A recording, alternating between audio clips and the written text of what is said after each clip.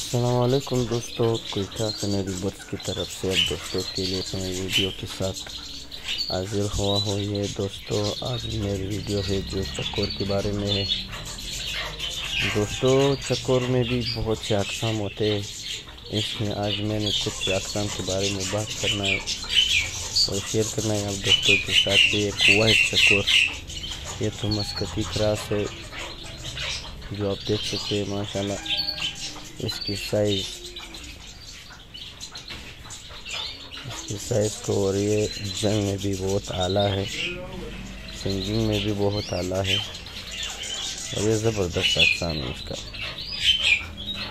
ये आप देख सकते हैं दोस्तों तो दोस्तों, वार चकोर जो है, ये नई नई मार्केट में आया है, इसलिए मैंने सोचा सोचा कि आप दोस्तों के साथ इसका वीडियो शेयर करूँ।